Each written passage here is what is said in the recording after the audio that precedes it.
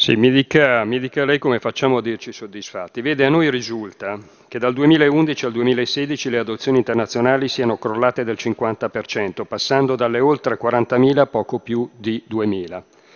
A questo aggiungiamo che le autorità della Bielorussia nel 2015 avevano bloccato le adozioni non ottenendo gli opportuni riscontri da parte della Commissione per le adozioni internazionali.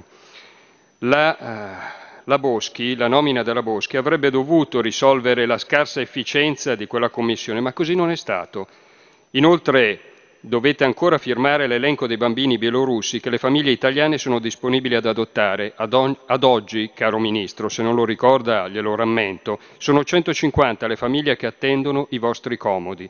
E riteniamo poi sia utile non sorvolare su un'altra questione che è rimbalzata anche agli onori della cronaca, quella relativa ad un'inchiesta giudiziaria che coinvolgerebbe la vicepresidente Silvia Della Monica, che, ci dice la stampa, sarebbe accusata di aver spedito dei suoi collaboratori negli orfanatrofi di Goma per prelevare dei bambini, pare contro la volontà delle autorità del Congo.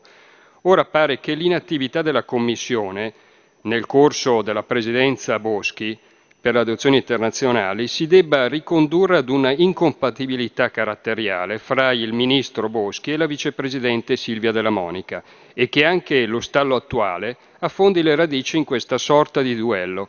Peccato che a pagarne le spese siano quei bambini in attesa di adozione, a cui negate un diritto sacrosanto, il diritto di poter essere accolti da famiglie che li attendono e che sperano di poterli crescere. Famiglie esasperati, esasperati soprattutto dalla vostra superficialità che rasenta la cialtroneria istituzionale.